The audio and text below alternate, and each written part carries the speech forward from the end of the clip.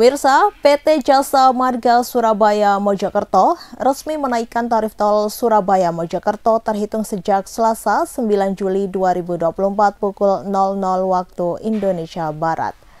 Tarif tol perjalanan terjauh dengan sistem transaksi tertutup untuk golongan 1 dari Warugunung menuju Mojokerto naik dari Rp39.000 menjadi Rp43.500. Sementara perjalanan terjauh untuk sistem transaksi terbuka dengan jenis kendaraan yang sama pada simpang Susun Waru naik dari yang semula Rp2.500 menjadi Rp3.000. Direktur Utama PT Jasa Marga D. Hari Pratama mengatakan, kebijakan tarif tol Surabaya Mojokerto naik dilakukan dengan pertimbangan penyesuaian inflasi.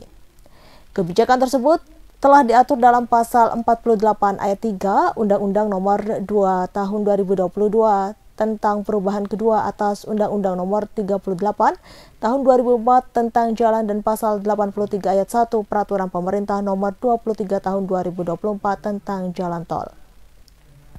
Hal itu Hari Pratama sampaikan pada Sabtu 6 Juli 2024. Adapun besaran tarif kenaikan tol Surabaya Mojokerto disesuaikan dengan inflasi kota Surabaya periode 1 Desember 2021 sampai 31 Januari 2024 sebesar 10,16 persen.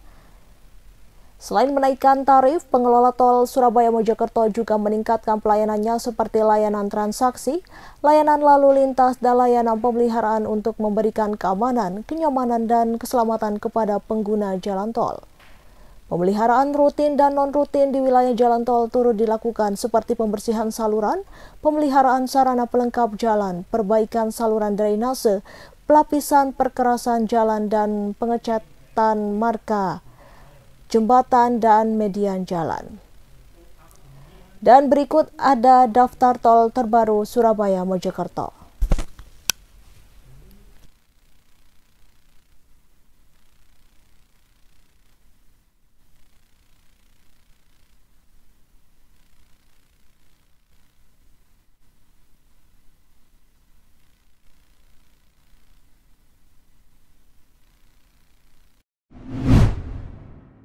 Pusaka-pusaka di Kabupaten Ponorogo kembali diarak jelang satu suro, Sabtu 6 Juli 2024 sore.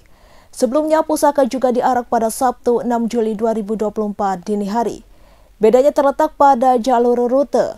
Untuk bedol pusaka mengarak dari arah rumah dinas Bupati Ponorogo atau biasa disebut dengan Pringkitan hingga ke makam Batoro Katong.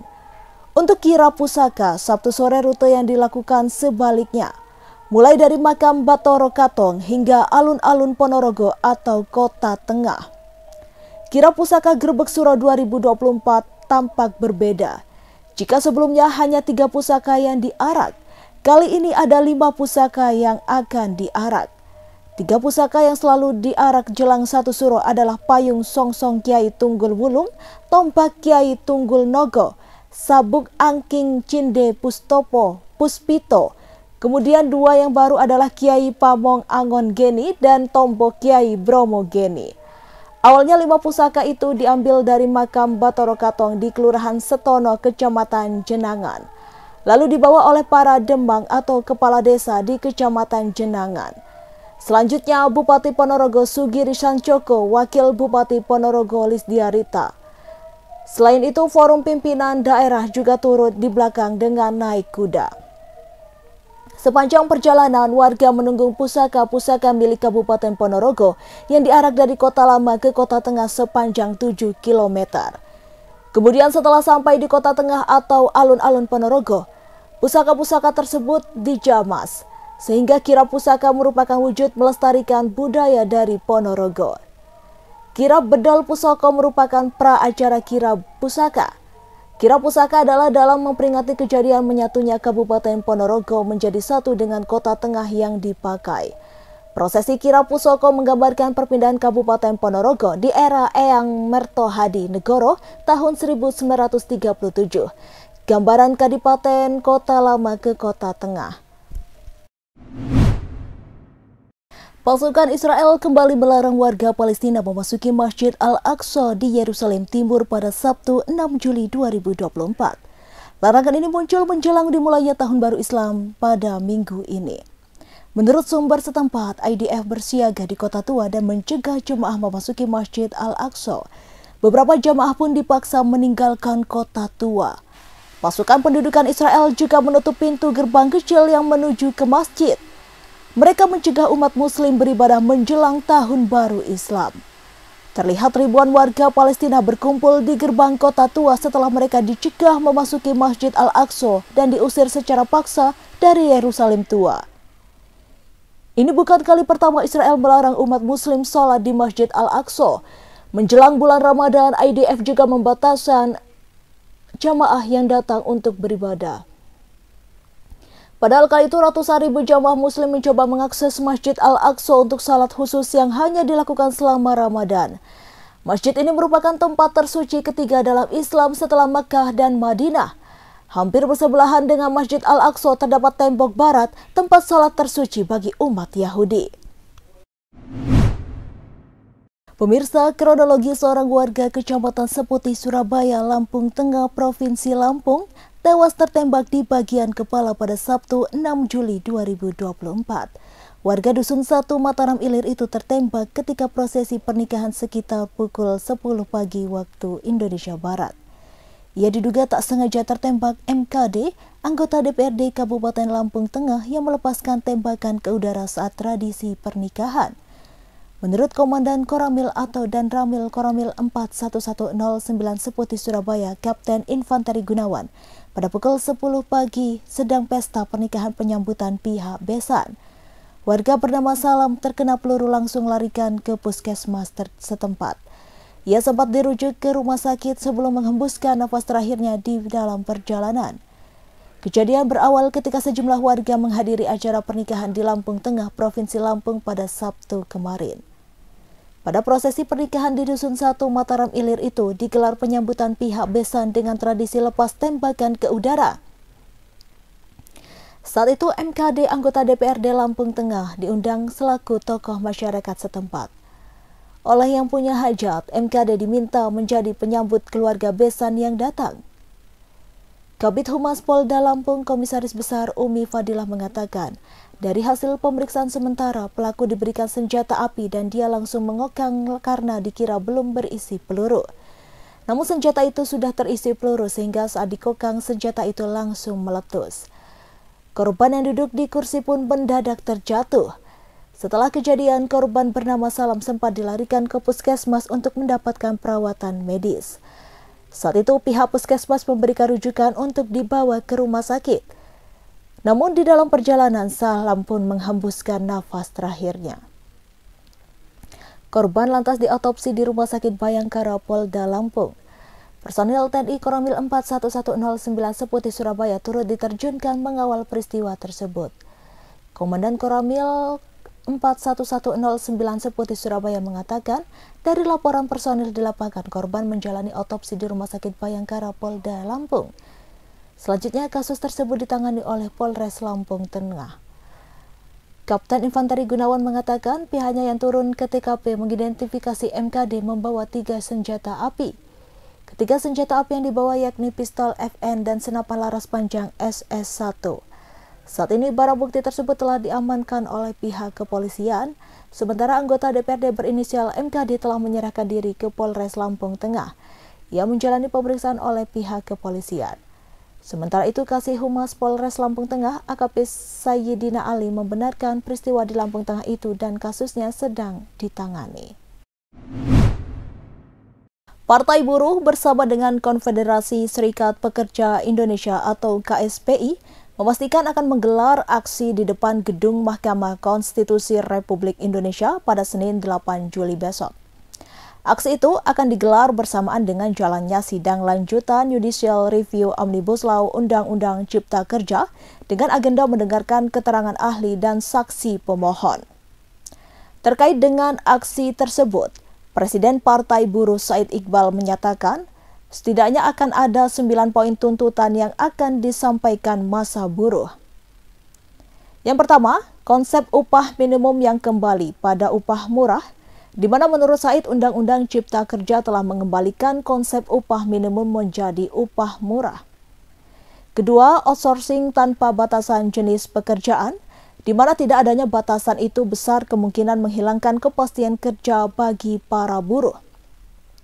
Ketiga, kontrak kerja yang berulang-ulang, di mana aturan yang ada dalam Undang-Undang Cipta Kerja ini memungkinkan pekerja hidup tanpa adanya jaminan menjadi pekerja tetap. Keempat, jumlah pesangon yang murah bahkan hanya diberikan setengah dari aturan sebelumnya. Kelima, pemberhentian hubungan kerja atau PHK yang dipermudah yang membuat buruh tak memiliki kepastian kerja dan selalu berada dalam posisi rentan. Keenam, pengaturan jam kerja yang fleksibel, tidak menentu dan justru menyulitkan buruh untuk mengatur waktu antara pekerjaan dan kehidupan pribadi. Ketujuh, pengaturan cuti yang justru menimbulkan tidak adanya kepastian upah selama cuti, khususnya bagi buruh perempuan. Kedelapan, Penggunaan tenaga kerja asing tanpa pengawasan ketat yang berpotensi menimbulkan kekhawatiran di kalangan buruh lokal. Kesembilan, hilangnya sanksi pidana bagi pelanggaran hak-hak buruh. Kondisi ini menurut Said memberikan kelonggaran bagi pengusaha untuk melanggar tanpa konsekuensi hukum berat. Atas adanya sembilan poin persoalan itu, Said Iqbal bersama Partai Buruh dan KSPI menyerukan agar seluruh pekerja dan elemen masyarakat yang peduli untuk turun serta dalam aksi ini. Tak hanya di Jakarta, aksi tersebut akan berlangsung di kantor-kantor gubernur, bupati, dan wali kota di berbagai kota seperti Semarang, Surabaya, Batam, Medan, Pekanbaru, Banda Aceh, Gorontalo, Banjarmasin, hingga Makassar. Jadwal semifinal Euro 2024 menyajikan pertandingan Spanyol versus Prancis dan Belanda versus Inggris.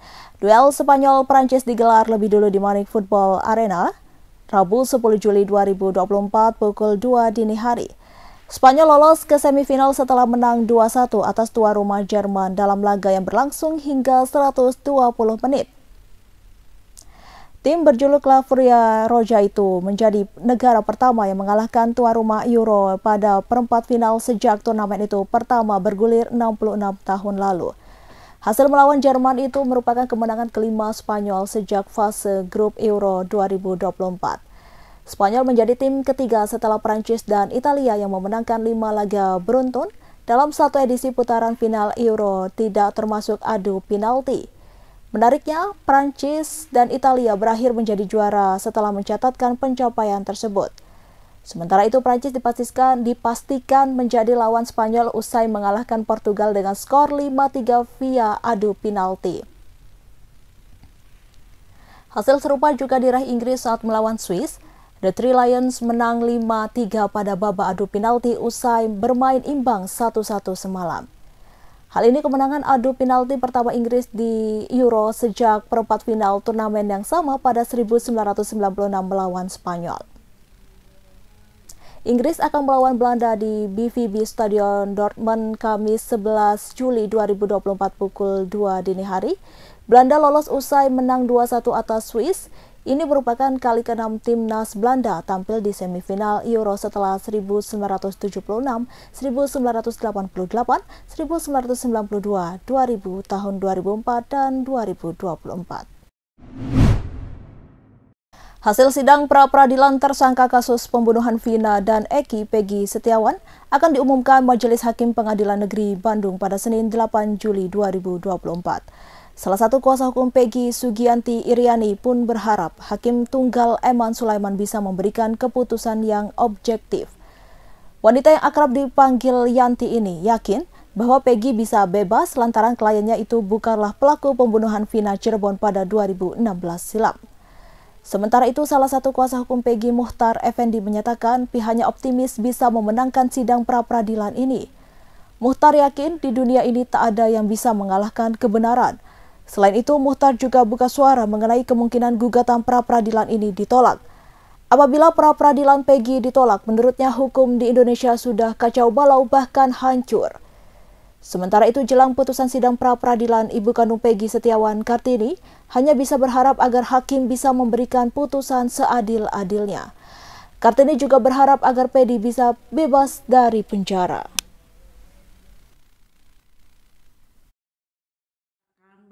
Adakah perlu e, dilakukan pemanggilan terhadap calon tersangka?